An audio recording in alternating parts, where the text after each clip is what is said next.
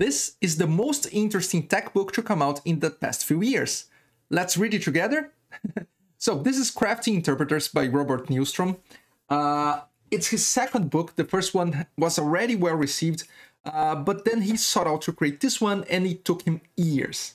Uh, why? Because he wanted to it, it's hard to talk about creating a programming language and interpreters and compilers there are other books out there of course but they're usually very hard to read very dense material and he wanted to create something that was approachable but that at the same time didn't cut corners and, and omit important information. So to find out the correct balance and to create the correct progression, uh, not to mention that he made like hundreds of handwritten, hand-made uh, illustrations, uh, so it took him years to create this, and the reviews are amazing. Some people even go on uh, as far as to say that it's career changing. And I want someone to read this book with me. Uh, why would you want to read this book? Well, first of all, which developer never had the curiosity of how programming languages were made? This will tackle that curiosity.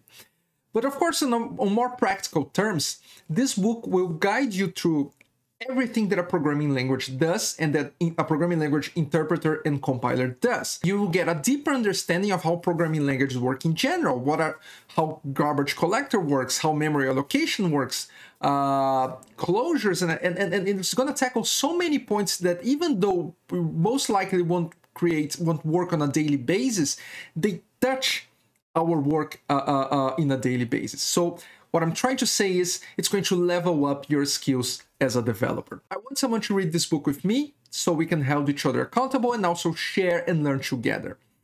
Uh, I talked to the author, so he gave me the green flag to go on with this. What you have to do is first you get the book, you can write, you can get the print version just as, as I did.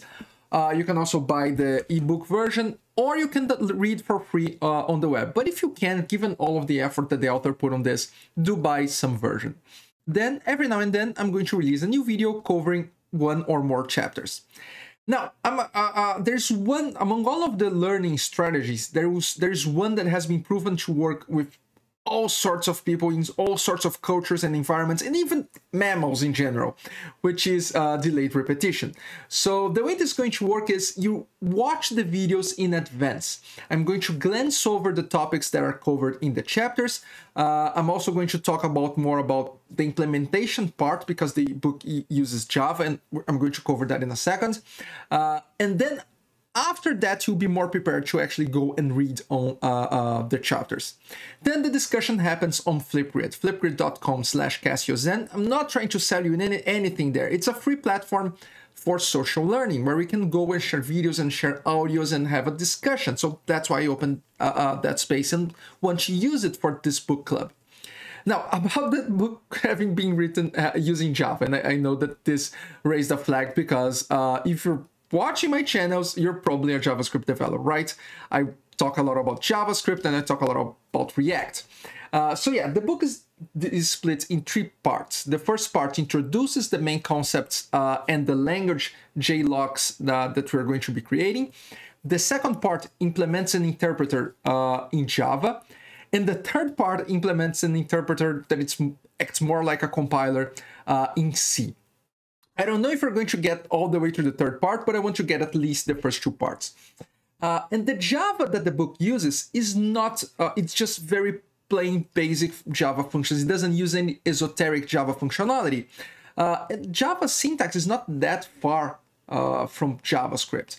So it's not going to be a completely new model. Uh, it's certainly a, a, slightly different syntax, and uh, uh, but I'm sure that I know Java, and I'm sure that I can tackle in the video before you read the chapters all the Java that you need to know to be able to read the chapters.